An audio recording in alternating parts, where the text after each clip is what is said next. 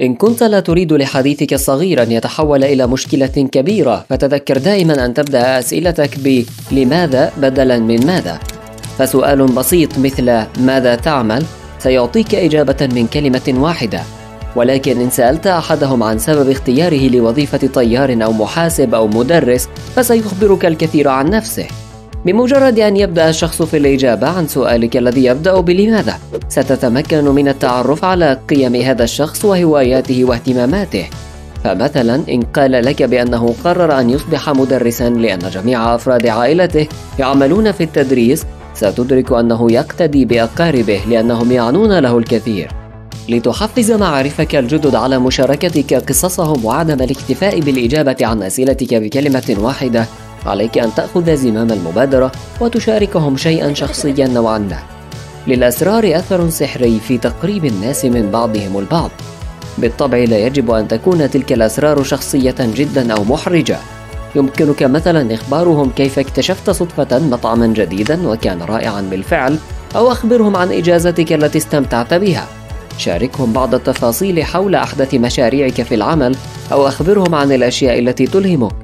يرجح أن يفعل الشخص الذي تتحدث إليه الشيء ذاته. وإن طرح أحدهم موضوع الطقس أو حركة المرور فلا تفكر مليا وانتقل بالمحادثة إلى اتجاه آخر. لن تأخذك هذه المواضيع المكررة إلى حيث تريد. لا تخشى الظهور بمظهر مضحك أو أن ترتكب خطأ ما لم تكن في العمل ولا تريد من زملائك أو مديرك الجديد تشكيك في خبراتك. في جميع الحالات الأخرى. كن أول من يضحك على الكلمة المضحكة التي ألقيتها أو الخطأ السخيف الذي ارتكبته. سيجعلك هذا تبدو لطيفا وودودا أكثر في نظر الآخرين.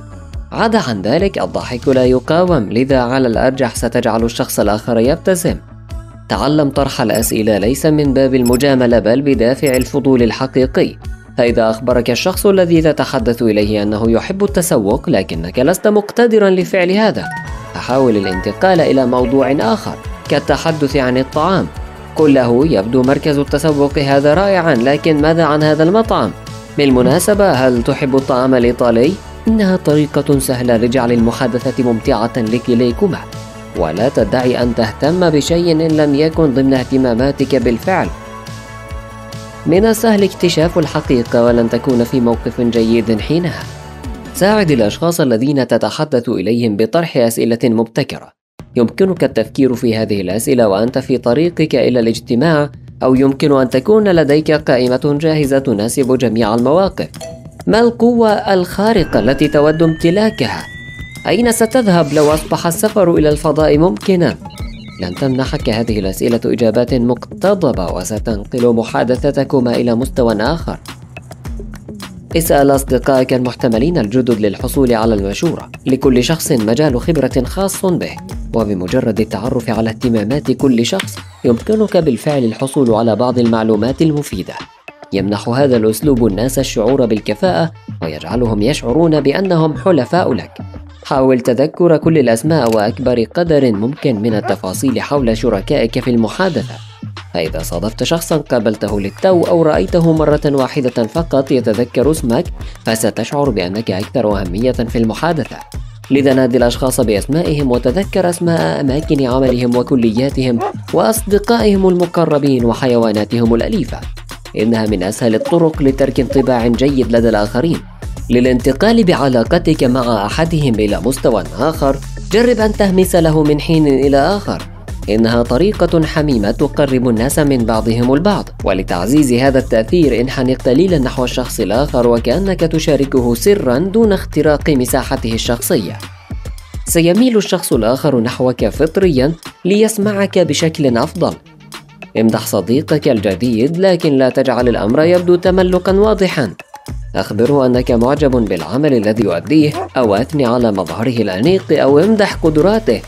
التواجد مع أشخاص يبادلونك نفس المشاعر ممتع دائما وستكون نقطة بداية جيدة شجع شريكك على مدح نفسه شجع شريكك على مدح نفسه واطلب منه التحدث عن إنجازاته أو مزاياه ثم أظهر له أنك متفاجئ قائلا رائع هل فعلت ذلك بنفسك بالفعل؟ كيف تمكنت من القيام بذلك؟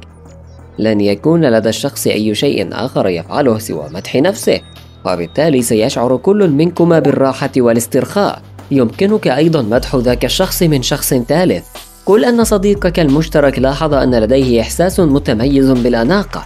أشر إلى شيء حققه شريكك في المحادثة من خلال عمله الجاد. إنها الطريقة الأكثر نجاعة. ارفع حاجبيك عندما تلتقي بالآخرين. سيظهر هذا أنك تشعر بالود تجاههم. يتعرف الدماغ البشري على هذه الإشارة حتى من المسافة البعيدة ويعتبرها علامة على أن التواصل مع هذا الشخص لطيف. تجنب فقط الاتصال الطويل بالعينين عند تحريك الحاجبين أو جعلهما بوضعية العبوس. فهذا مزعج بعض الشيء. ربما لا يشعر الشخص الذي تتحدث إليه بالراحة تجاهك؟ انظر إلى قدميه. إذا كانتا متجهتان بعيدا عنك فإن شريكك في المحادثة يحلم شعوريا أو لا شعوريا.